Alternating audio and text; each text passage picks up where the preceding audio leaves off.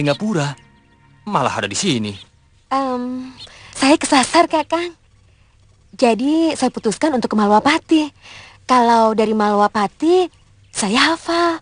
Eh. Oh, apa bukan karena ada Suliwa? Hmm. Kenapa sih? Kakang selalu bicara begitu. Loh, memang ada yang salah dengan kata-kataku. Selama ini kita bisa tinggal di Malwapati karena ada Suliwa. Karena dia yang punya hubungan dekat dengan Gusti Prabu. Iya, tapi yang Kakang katakan tadi adalah sikap curiga. Bahwa saya memang sengaja selingkuh dengan Kakang Suliwa. Itu kamu yang mengatakan, bukan saya. Tapi hati Kakang bicara begitu. Woi! aduh, aduh, ini orang kalau bertemu kok langsung saja bertengkar toh ya. Aduh. Apa tidak ada pekerjaan lain yang lebih menarik selain bertengkar? Buat niru saya ini loh. Saya tidak pernah bertengkar sekalipun dengan Nimas Woromondi. Iya tadi Ajeng? Iya, cuma empat kali. Loh, loh, loh, loh, loh, loh, loh. Itu tidak termasuk bertengkar toh ya, Ajeng. Itu kan hanya salah, salah paham, paham, salah pengertian. pengertian. Aduh. Hengo, eh, pertengkaran itu selalu diawali karena kesalahpahaman. Iya, dan kecemburuan yang membabi buta. Membabi buta apa? Ya membabi buta seperti kakang. Mengada-ada saja. Cemburuan. Huh. Sudah tuan ini. Malu dilihat orang, apalagi dilihat kuda. Iya, kuda. Ya, ya. kuda. Kanda Prabu mengalami ketakutan yang sangat. Seluruh tubuhnya sampai berkeringat dan menggigil. Apa yang dibicarakannya, Nyai Dewi? Sama sekali beliau tidak bicara sepatah kata pun, Kanda Pati. Hanya ungkapan-ungkapan rasa takut lewat wajahnya.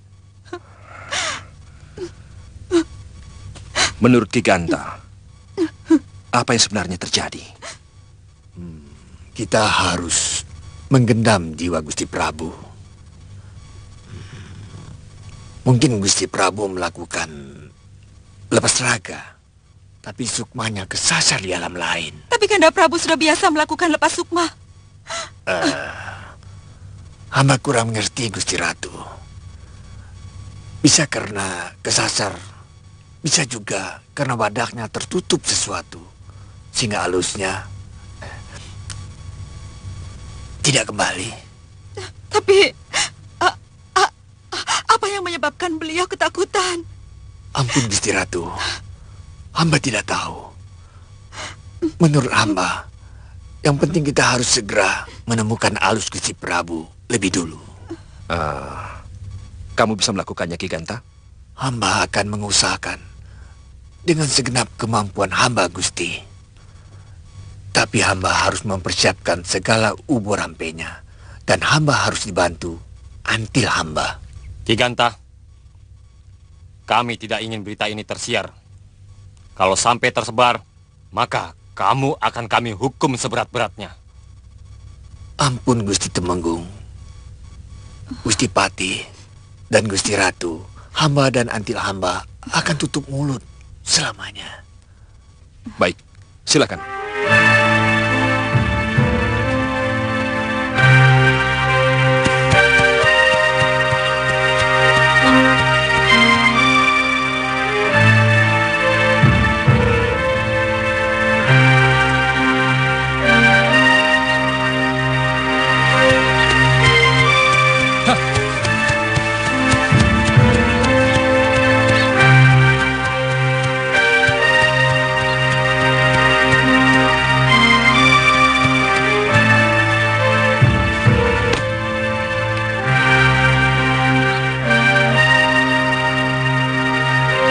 Perlu apa, sana?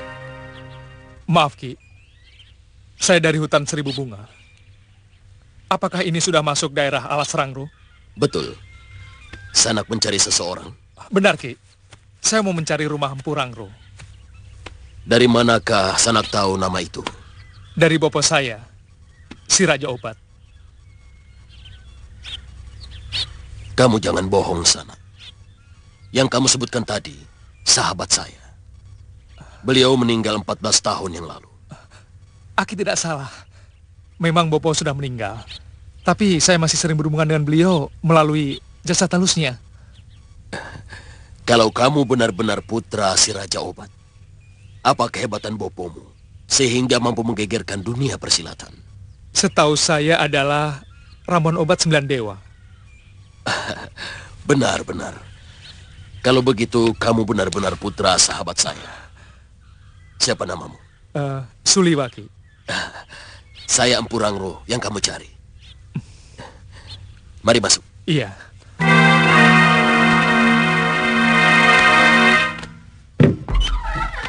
Silakan duduk. Ligur, Rumpus. Ya, Guru.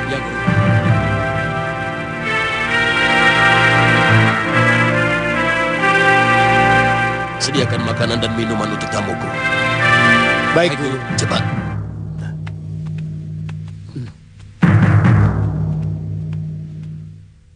Eh, kenapa? Dua orang itu menyerangmu? Betul, Empu. Saya tidak tahu apa kesalahan saya, Empu. Biasa. Anak muda kan selalu ingin gagah-gagahan. Baru bisa beberapa jurus saja. Jadi ingin mencoba ilmunya yang masih sedikit itu. Likur dan Rumpus tadi menceritakan bahwa kamu pun menguasai ilmu tongkat dan alas rangro. Padahal saya sendiri tidak pernah mengajarkan kepada siapa pun. Kecuali pada murid-muridku. Dari mana kamu mendapatkan ilmu itu? Eh, saya hanya melihat gerakan murid-murid Empu. Kemudian saya menirunya, Empu. Kamu menguasai Dasendria Suliwa. Saya murid mendiang Empu Masura. Oh.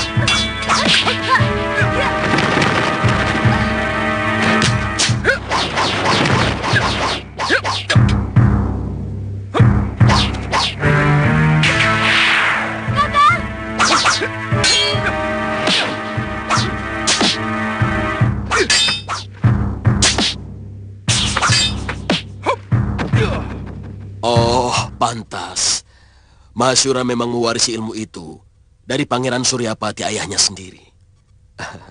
Eh, sekarang, apa yang kamu inginkan dariku, Suliwa? Eh, saya mengabdi di Malapati, Empu. Sekarang ini, junjungan saya Gusti Prabu Angling Dharma kehilangan kesadarannya, Empu. Dia seperti orang linglung yang tidak mengenali dirinya sendiri. Bopo menyuruh saya untuk menemui Empu. Katanya, Empu pernah mengalami hal yang serupa. Mungkin Empu bisa memberikan nasihat untuk menolong Gusti Prabu.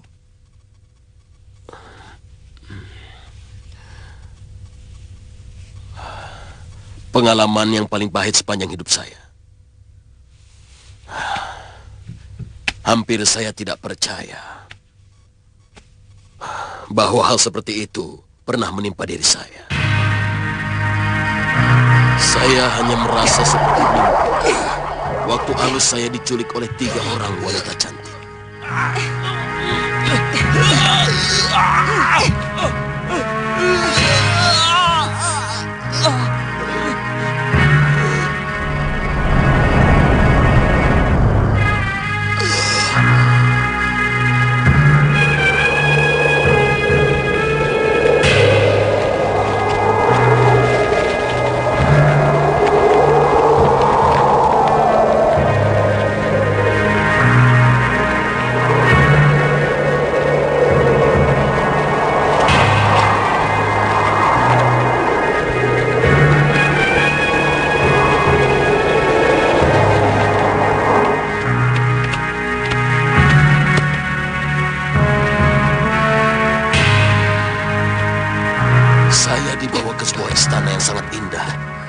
menebarkan hawa kematian yang mengerikan.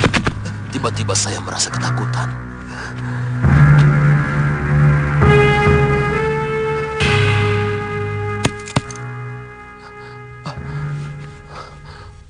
Kamu tahu kenapa kamu dihadapkan kepadaku, Rangro? Hamba tidak tahu, Gusti. Apa salah hamba? Kamu telah mengacak-ngacak hutan perburuanku. Dan kamu telah membunuh menjangan emas piaraanku. Hamba tidak pernah melakukan semua yang dituduhkan itu, Gusti Ratu. Kamu membantah?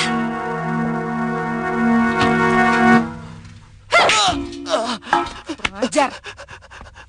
Ampun, Gusti Ratu. Berani kamu berbohong di hadapan Ratu Simawulung? Ampun Gusti Ratu. Apa yang kamu lakukan kemarin? Kamu telah mengamuk dengan pedangmu dan membabat apa saja yang ada di sekeliling kamu.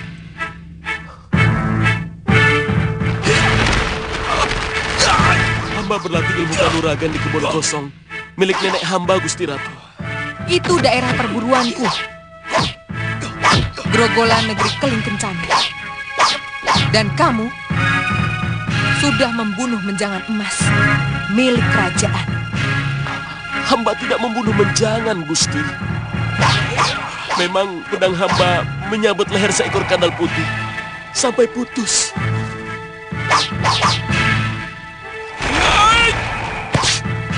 Itu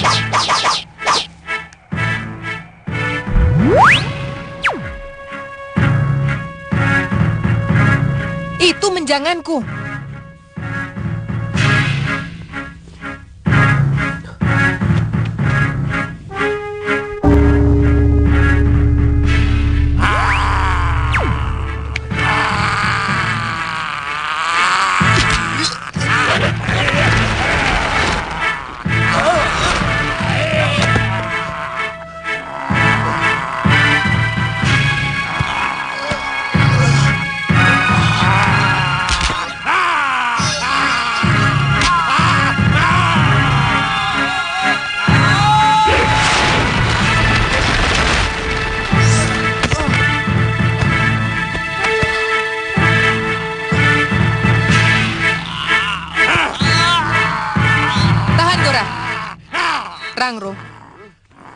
Kalau kamu bisa mengalahkan Gora Rupa, kamu akan kubebaskan kembali pulang ke dalam jasad wadakmu.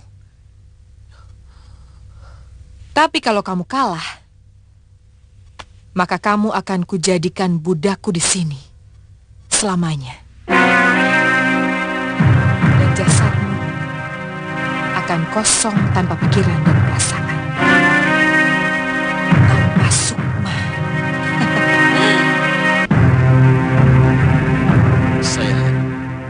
Meski semua ilmu kanuragan telah saya keluarkan, tapi seolah saya tidak memiliki kekuatan seperti biasanya ketika saya bertarung. Mungkin karena yang bertarung itu hanya jasad halus saya. Sementara kekuatan sesungguhnya ada pada jasad wadak saya.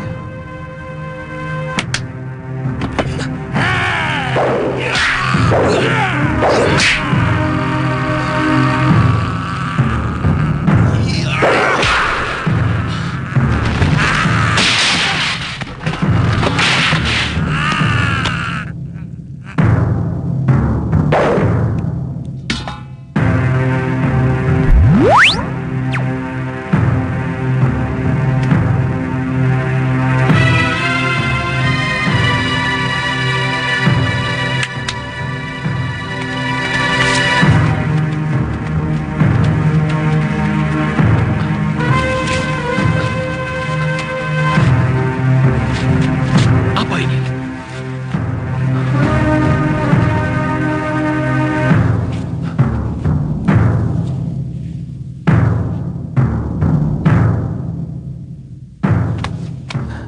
Sang ratu masih tetap merayu saya untuk tinggal di kedatonnya.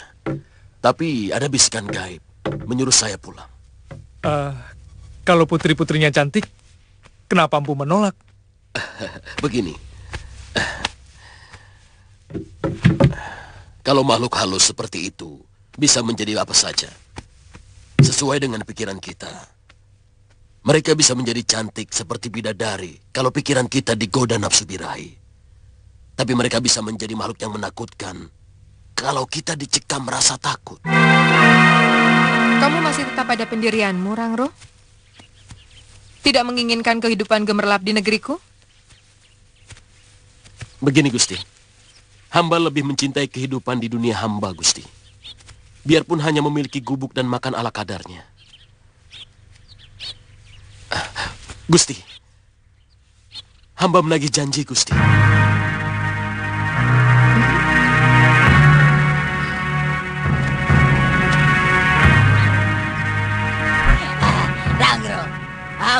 Menghormati keteguhan hatimu.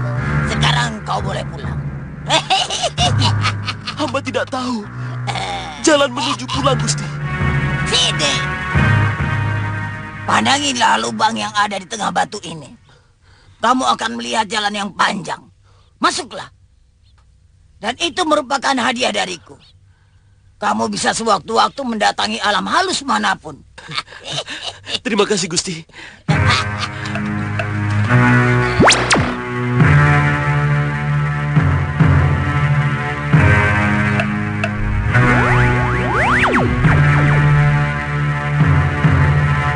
Terima kasih Gusti Ratu.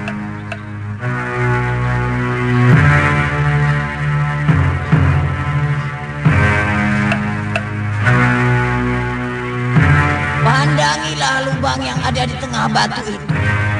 Kamu akan melihat jalan panjang. Masuklah. Di ujung jalan itu adalah rumah. Saya memandangi lubang batu itu. Tiba-tiba tubuh saya seperti tersedot. Kemudian masuk ke dalam lubang batu. Tubuh saya melayang-layang dalam lorong yang sangat dalam dan menakutkan. Sampai tiba-tiba saya melihat cahaya bentar.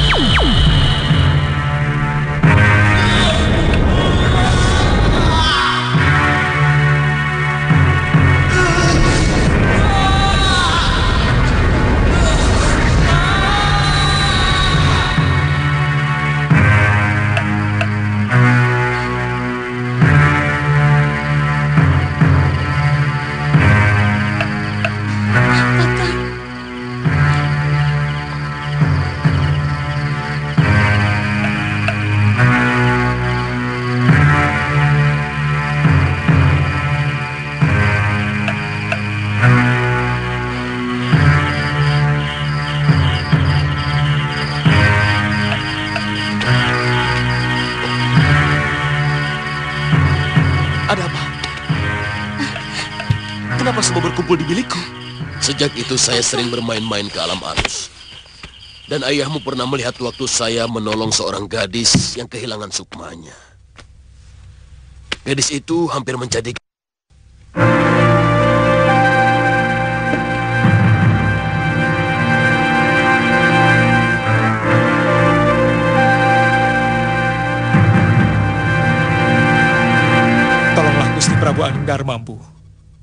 Saya ingin menghadiahkan batu ini kepadamu. Empu? Sudah terlalu lama saya melakukan pekerjaan ini, Suliwa. Dan saya ingin membalas jasa kebaikan orang tuamu. Dia pernah menyelamatkan nyawa saya. Waktu terkena pukulan tenaga dalam dari Purut Sura.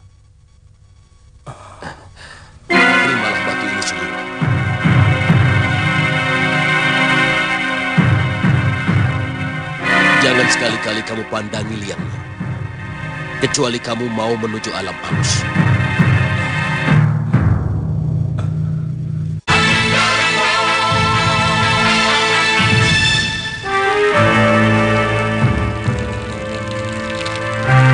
Mantram ku baca, Sukma ku panggil pulang. Sukma yang mengembara tanpa arah.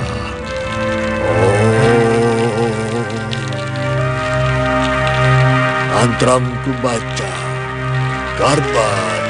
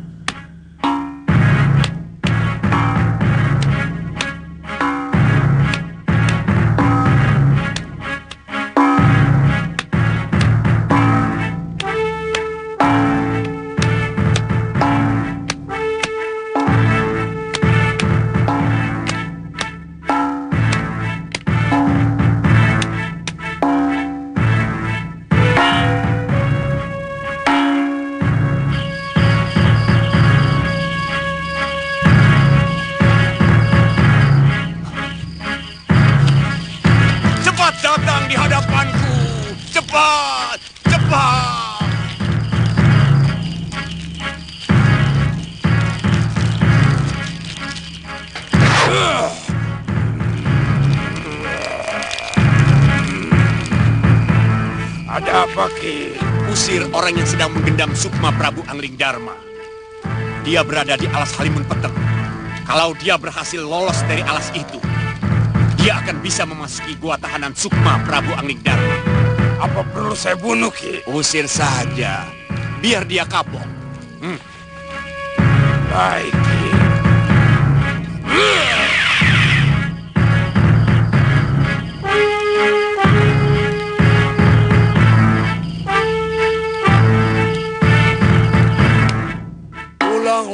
Gusti Prabu. Pulang kembali ke rumahmu. Seluruh rakyat menunggu. Pulang, pulang, pulang. Kalau Tuhan kesasar, hamba yang memandu. Hei! Mau apa kalian di daerahku? Hah? Jangan melihat. Pukul terus.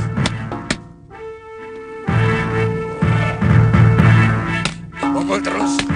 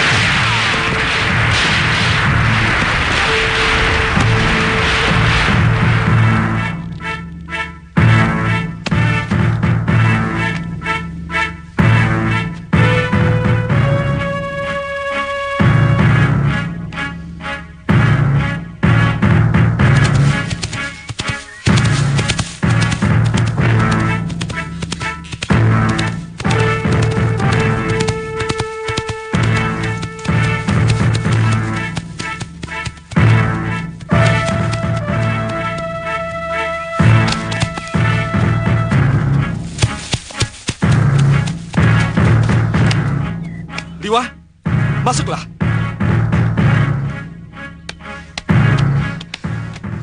Bagaimana Liwa? Saya akan coba mencari Sukma Gusti Prabu. Saya sudah mendapatkan jalan menuju alam halus Gusti Pati. Ada apa Gusti? Duduklah. Ada apa Gusti? Tadi malam ada seorang dukun gendam Sukma berusaha mencari Sukma Gusti Prabu. Tapi... Dia meninggal? Iya. Lehernya seperti tercekik oleh tangan yang mempunyai kekuatan yang sangat luar biasa. Demikian juga pembantunya, Liwa. Gusti, bagaimanapun, saya akan tetap melakukannya. Saya khawatir, kalau lebih lama lagi Sukma Gusti Prabu terpisah dengan jasad wadaknya, maka akan sulit Sukma itu untuk kembali pulang.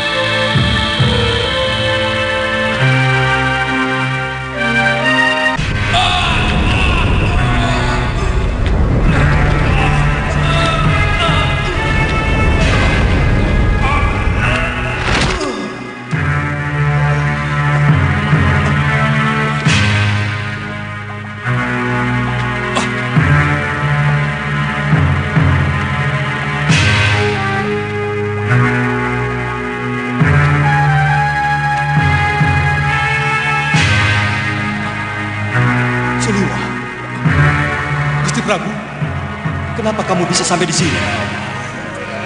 Yeah.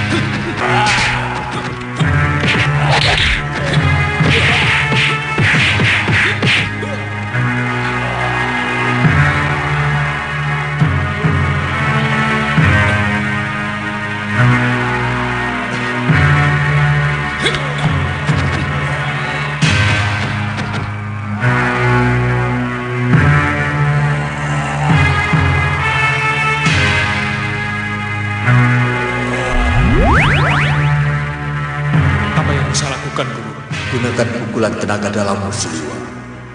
Karena tenaga dalam tidak memerlukan kekuatan tubuh wadah milikmu. Terima kasih, Guru.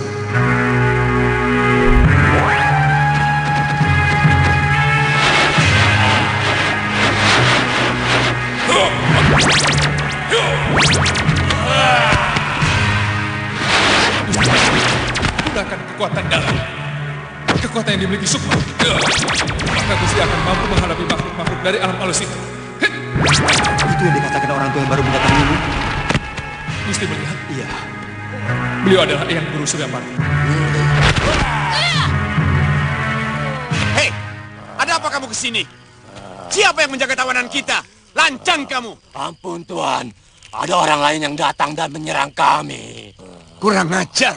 Mereka berhasil membunuh beberapa orang kawan-kawan kami, Tuan. Cepat, Gusti. Gunakan seluruh ajian yang tidak memerlukan raga.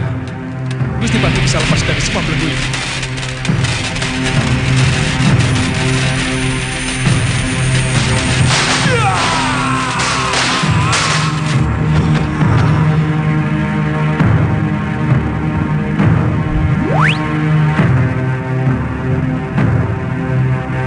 Rupanya mereka berhasil menembus alam sukma. Cepat kita ke sana, Nyai. Iya. Oh ya, minyak rasa-rasa. Iya, iya. Ayo. Kalau hamba sudah berhasil membuka lorong sukma, Gusti cepat pegang tubuh hamba. Kita harus cepat kembali. Baik,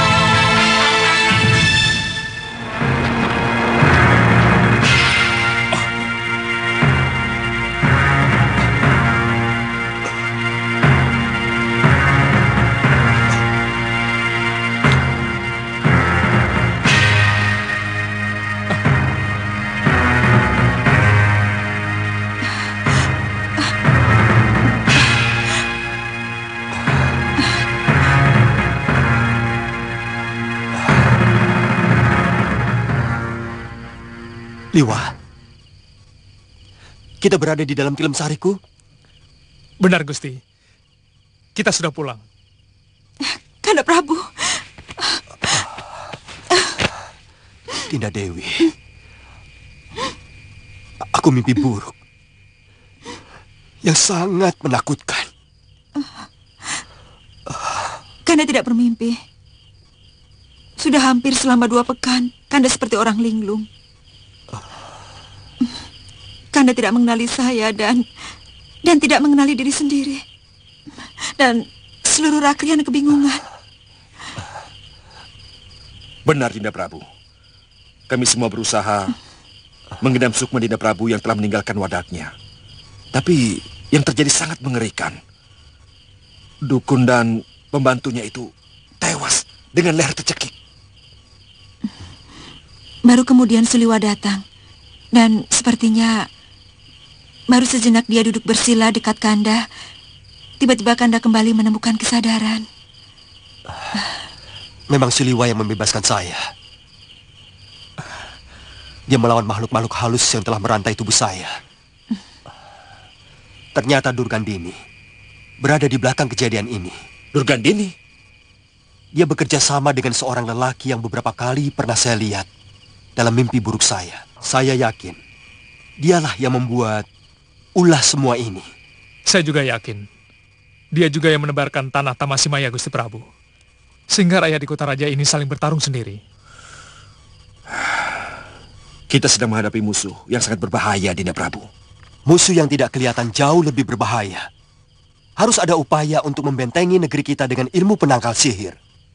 Ah, saya jadi teringat cerita Suliwa dari ayahandanya tentang akan munculnya sebuah ajaran agama baru yang sanggup memerangi kejahatan ilmu sihir. Bahkan sanggup membawa ketentraman dan perdamaian bagi manusia yang mau mengamalkan ajaran agama baru itu, Dinda. Liwa, sekali lagi kamu telah menyelamatkan hidupku. Semakin tidak cukup rasa terima kasih yang kuucapkan kepadamu. Entah dengan apa, Liwa, saya harus membalasmu. Ah, hamba hanya menjalankan kewajiban Gusti Prabu. Semua ini hamba lakukan sebagai pengabdian kepada Gusti Prabu.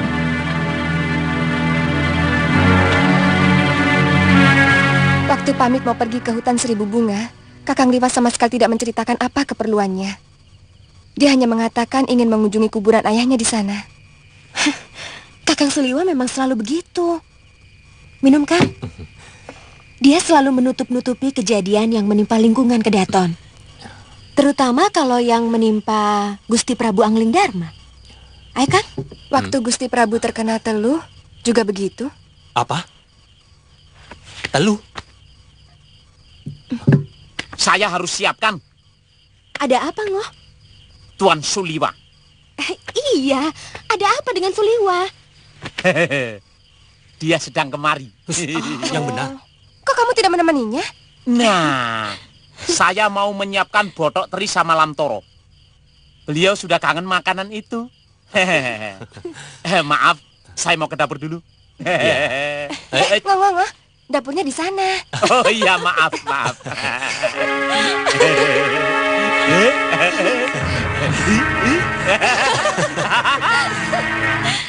Kita harus mencari cara lain, Kasmala. Untuk membunuh Angling Dharma. Dan caranya dengan membunuh tabib dari hutan seribu bunga itu lebih dahulu. Ah, ah, kamu harus berpikir keras. Ayo, berpikir keras. Ah. Sebenarnya ini kan masalahmu, Durgandini. Aku tidak ada urusan dengan Angling Dharma. Siapa itu? Siapa itu? Siapa itu Suliwa? Siapa itu? Eh, Aca, Aca. kamu sudah jauh terlibat, Kasmala. Angling Dharma dan Suliwa sudah melihat tampangmu ini langsung, ngerti? Aku tidak akan menolongmu kalau mereka menyatronimu di alam nyata. Asal kamu tahu, hah? Kedua orang itu sangat sulit dicari tandingannya. Kamu sebenarnya sudah menjerumuskan aku ke dalam persoalan yang belum pernah aku lakukan. Dengan ilmu yang kudapat dari tanah Hindustan, aku berniat hidup tenang. Menjadi dukun linui, menerima upah menyembuhkan orang, atau meneluh orang. Sekarang malah menjadi ruwet, eruwet, eruwet, Durgandini. Ah, sudah kepalang basah. Mau tidak mau, kamu harus bergabung denganku untuk melawan musuh-musuhku. Kenapa mesti bingung, Kasmala? Kamu pasti memiliki cara lain untuk membunuh Angling Dharma dan Suliwa. Huh, pasti kamu masih memiliki ilmu yang kamu serap dari tanah Hindustan. Cuma kamu masih bingung. Selama ini yang menghalangi kita adalah Suliwa. Ya, Suliwa. Kenapa tidak dia dulu saja yang kita habiskan? Ya, ya benar. Kalau dia sudah tidak berdaya, mustahil dia bisa menolong rajanya. Ah. Ah. Encer juga otakmu, Kasmala. Suliwa. Durgandini begitu bernafsu ingin mencelakakan Gusti Prabu. Bahkan beliau pernah nyaris tewas oleh pukulan reka gunung. Durgandini lagi, Durgandini lagi.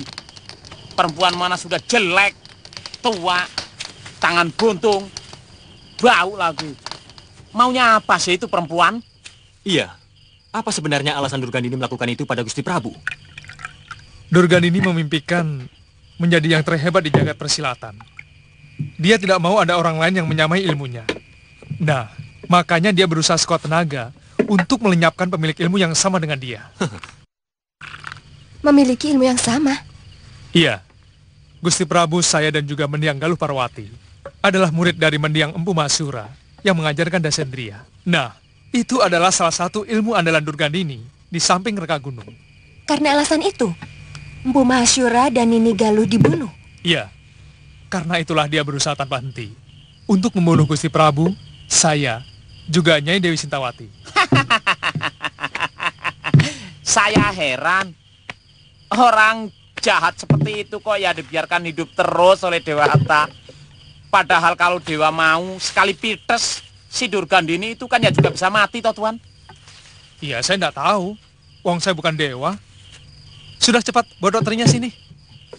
Eh, eh, eh, eh, eh, eh. Mm, mm, mm, mm, mm. Tunggu dulu. Kamu itu jangan sok penting, oh. Apa mentang-mentang bodokmu itu banyak penggemarnya, hah? Sabar toh Tuan. Makan itu semakin lapar, semakin nikmat. Semakin kamu cerewet, sini, sini, eh, sini, ah, sini, nah, lambemu itu.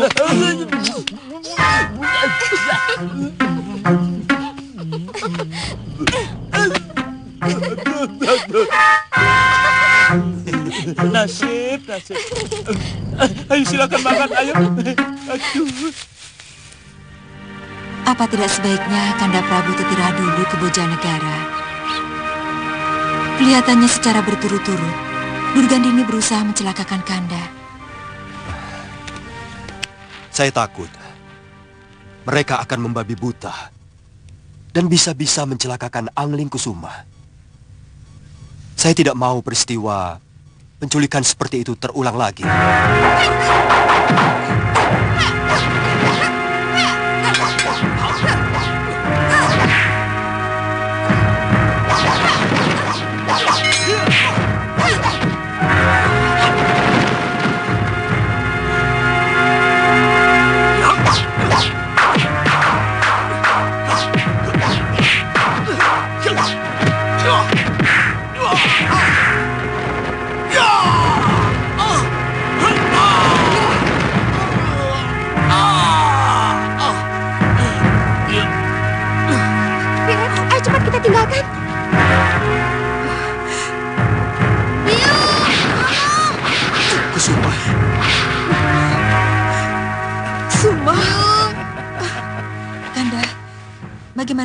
Sihir itu menyerang lagi?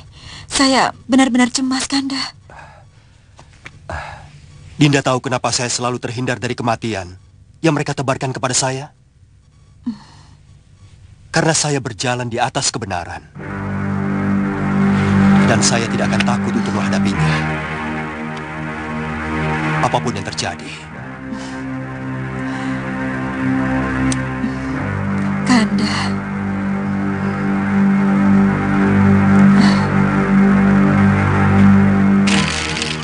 Guru, hamba mohon petunjukmu. Ternyata telupu laket yang guru ajarkan ada yang mampu menangkalnya. Tiga piaraan yang hamba kirim telah tewas. Tanah Tamasimaya yang ditebarkan oleh Julik Gulgul pun mampu ditawarkan. Musuh hamba itu juga mampu menembus alam sukmawana ciptaan guru.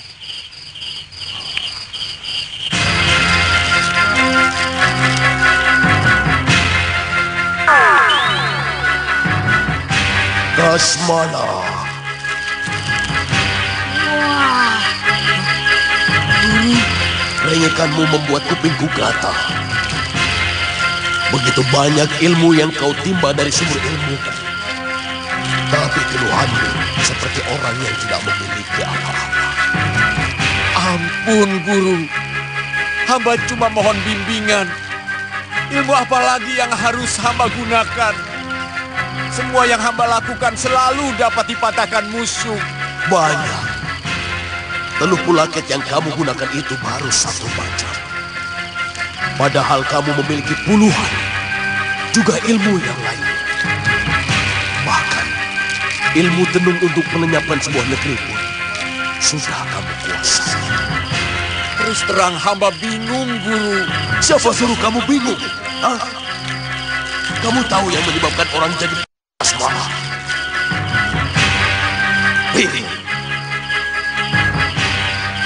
Karena bingung. Keadaan seperti itu yang menyebabkan semua kemampuanmu menjadi mantul. Bingung yang menyebabkan orang pandai menjadi Hilangkan rasa itu. Baik, Guru. Nah, ada berita buruk yang harus kamu ketahui, Kasmala. Berita buruk?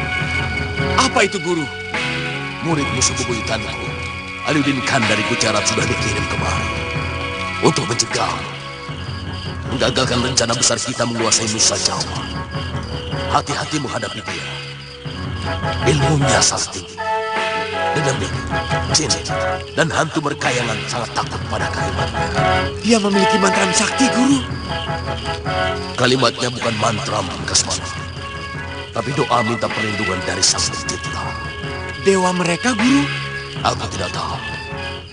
Kata orang, Sang Pencipta milik Aliuddin Khan itu sudah ada sebelum segalanya ada. Dan dia akan tetap ada sesudah segalanya tiada. Aku akan segera menyusulmu kemari. Sebab murid Aliuddin Khan itu pasti sudah mulai menyebarkan keyakinan baru itu di Nusa Jawa.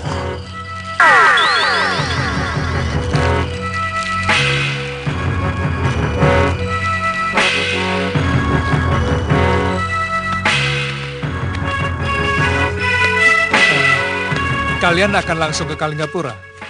Ya, rencananya begitu. Saya akan melamar Tantri. Dan langsung menikahinya dengan upacara suci. Nah, saya kira itu yang terbaik. Supaya kalian tidak lagi saling cemburu. Dia yang suka cemburu. Iya kan? Tapi sayang kan? Sebaiknya kalian berdua segera menikah. Kelihatannya kamu dan Ratri sangat serasi. Terima kasih, Ditya. Selamat tinggal, Iwa, Ratri.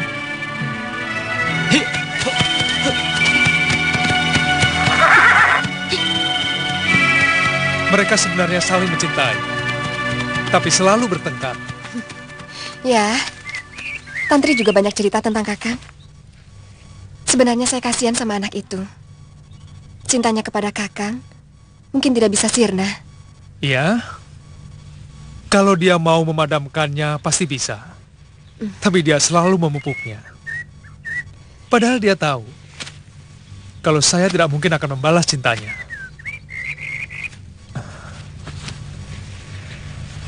Ayo.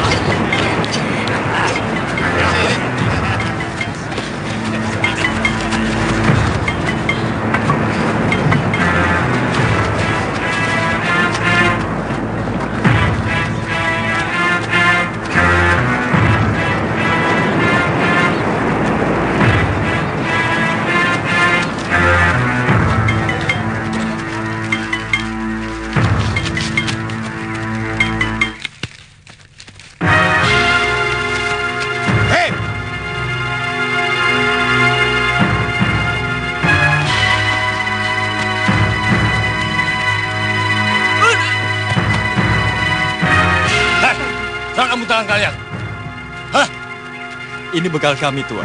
Kalau ini harus diserahkan, bagaimana kami harus melanjutkan pengembaraan? Jangan banyak omong. Ya.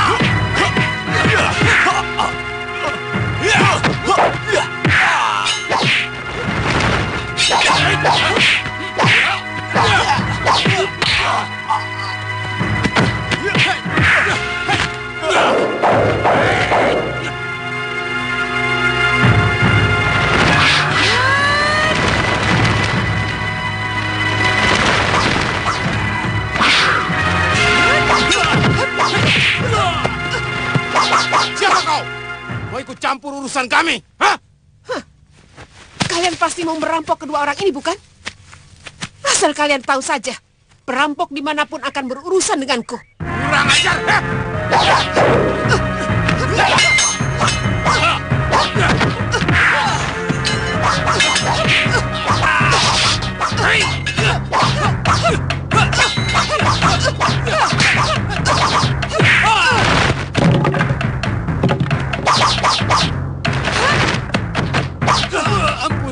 Cepat pergi dari sini. Dan kalau saya masih menjumpai kamu merampok lagi, maka pedangku ini tidak akan memberi ampun. Iya, iya, ampun, ampun.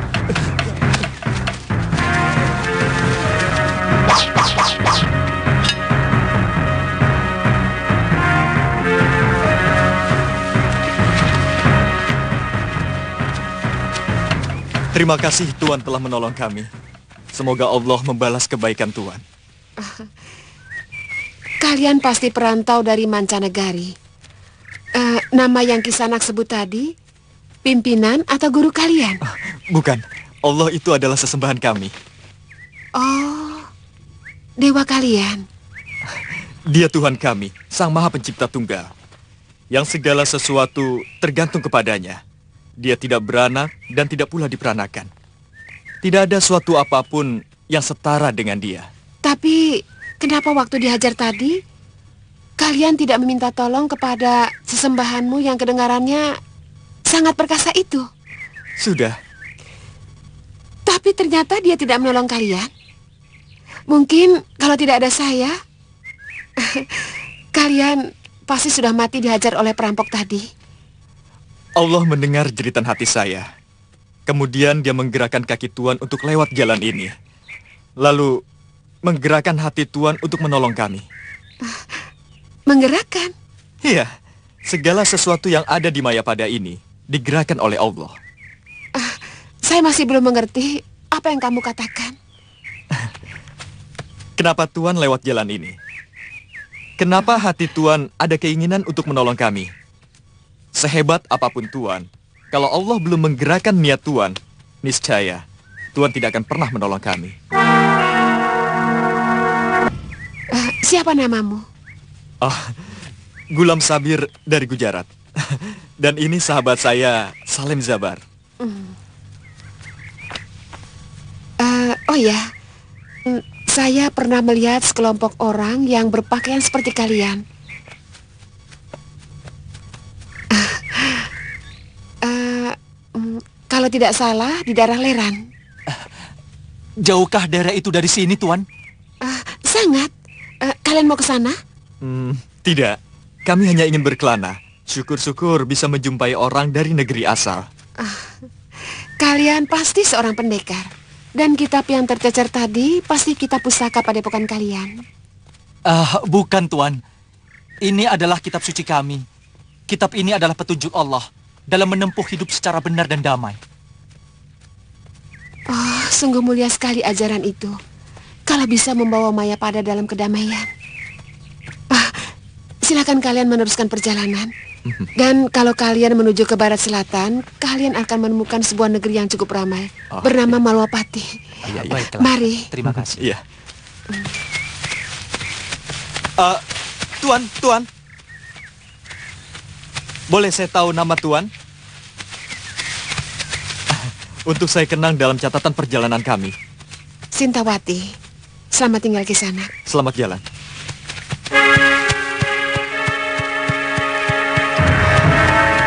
Jabar, tidak ada salahnya kita pergi ke negeri itu.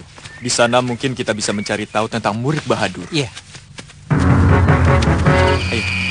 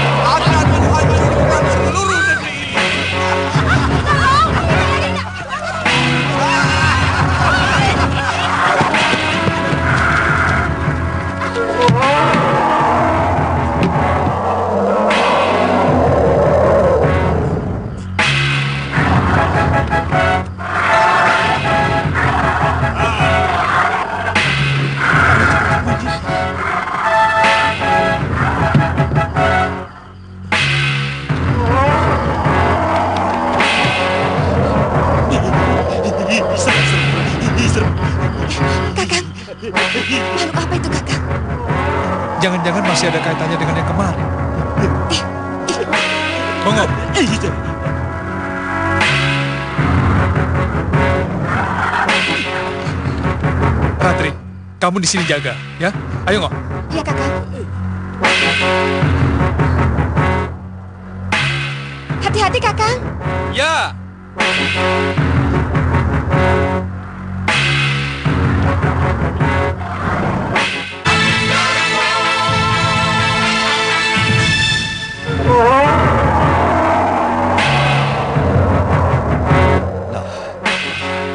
Silakan duduk Anda Pati. Iya. Liwa.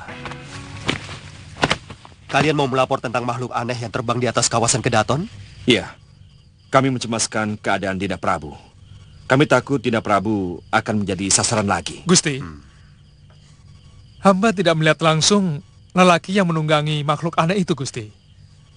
Tapi suara ketawanya mirip dengan teman Durganini yang kita temui di alam sukma. Saya telah memutuskan untuk tidak tidur di malam hari. Karena sudah dua kali serangan gelap terhadap saya di saat saya tidur. Iya, sebenarnya hamba pun ingin memperingatkan Gusti tentang hal itu. Sebab mereka mengambil kesempatan ketika Gusti sedang lengah. Iya. Saya sudah menyebar telik sandi ke segenap penjuru Malwapati untuk mencari tahu di mana Durgandini dan sekutunya berada. Tapi sampai sekarang belum juga berhasil. Kelihatannya mereka tidak main-main untuk membidik saya. Tapi bagaimanapun, sebagai seorang satria, pantang bagi saya lari dari tantangan.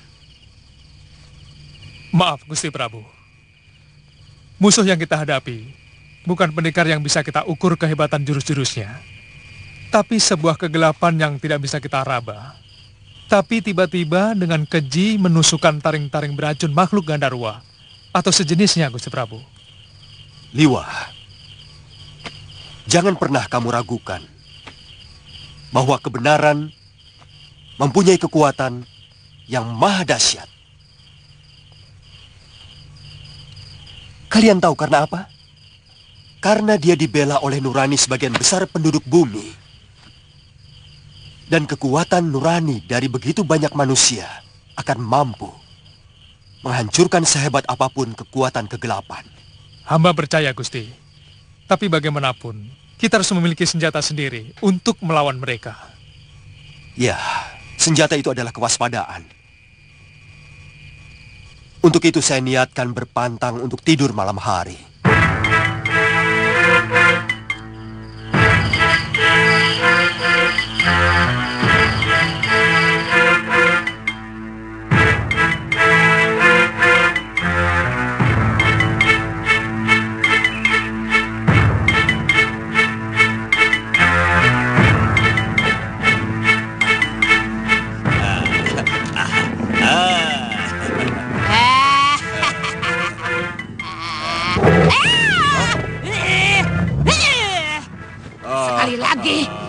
Binatangmu ini bikin aku terkejut. Aku cincang-cincang dia.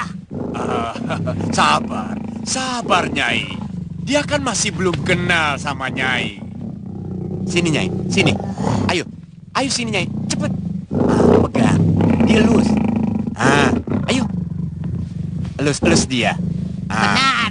Ah, tidak apa-apa. Ah, lama-lama juga bisa jadi sahabat. Apalagi kalau Nyai memberi dia makan. Ayo, ayo.